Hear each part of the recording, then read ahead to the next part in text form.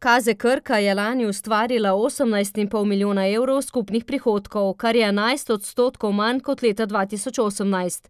Izgubo so v zadnjih dveh letih zmanjšali, lani za 16 odstotkov, a so jim ta čas banke nenaklonjene, zato so še vedno nelikvidni. Kaze Krka je imela leta 2017 v septembru 4 milijone 800 tisoč evrov kreditov. Danes imamo teh kreditov 2 milijona 510 tisoč evrov, se pravi praktično smo prepolovili zadolženost pri bankah bankah, seveda ne iz tekočega poslovanja, ampak iz deležev od prodaje poslovno nepotrebnega premoženja. Septembra 2017 nadaljuje, so imeli 3,4 milijona zapadlih obveznosti, danes jih je približno 1,9 milijona. Glede stroškov dela pa.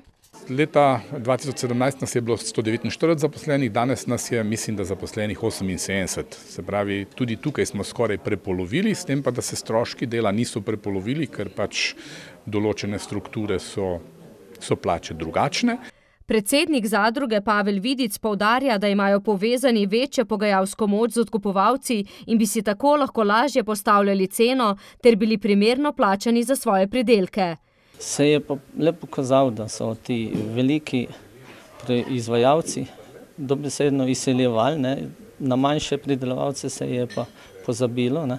tako da se zdaj spet vračajo nazaj in bomo ohranili tako še večjo preskrbo po celi Dolenski. Na proizvodnem področju vidim priložnosti velike v izbiri semena, se pravi sort, ki so tržno zanimive, po drugi strani pa tudi odporne na vremenske vplive. Ravno tako pa vidim velike priložnosti na področju trženja blagovne znamke, dolenske zelenjave.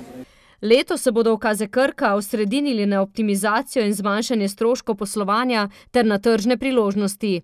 Zagotovo največji potencial pri nas v okviru trgovine je Agroservis, ker je to največja trgovina, ker je trgovina, ki ima ime, ker so programi, ki so dobri, s tem pa, da je trgovina, ki je relativno zastarela in ki jo je treba resno obnoviti.